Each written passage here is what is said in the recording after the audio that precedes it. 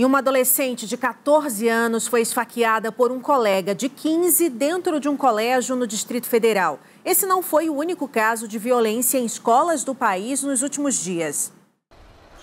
O ataque foi durante a aula de educação física deste colégio em São Sebastião. O aluno de 15 anos esfaqueou uma colega de 14 nas costas e no braço.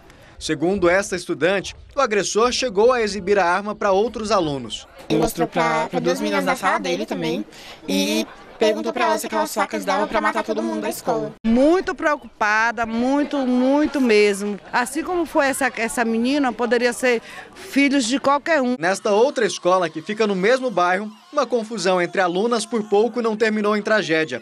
Uma das meninas tirou da bolsa o que parece ser um revólver e apontou para a cabeça da outra.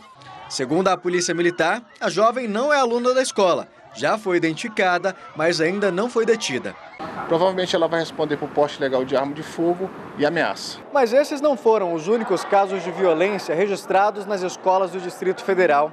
De acordo com a Polícia Militar, desde o início do ano letivo, já foram registradas 28 ocorrências por brigas, 21 por ameaças e 3 por lesões corporais. Em Porto Seguro, na Bahia, um estudante de 16 anos também foi esfaqueado por um colega de turma dentro da escola.